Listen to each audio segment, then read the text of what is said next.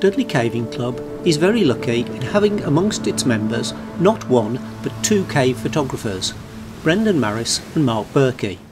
Previously, both have taken some stunning images in Ogof Gofan, a spectacularly decorated cave in the sea cliffs on Saddlehead, Pembrokeshire.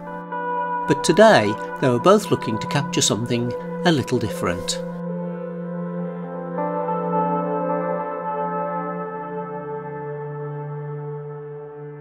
So, been to Gofan before, mm -hmm. um, took some nice photos in the main chamber, but I was thinking, don't, don't, don't, don't really need to do any more photos in the cave.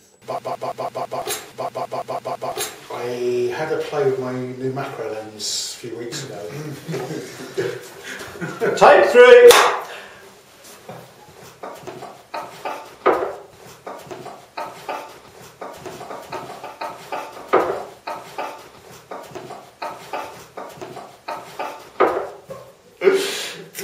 It'll be alright in the night.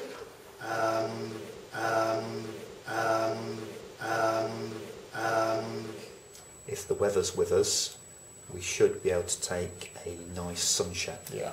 s- Sun shits.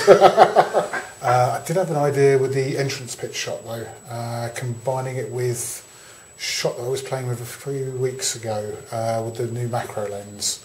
I'd like to try and get a box. Give us our pips. pips.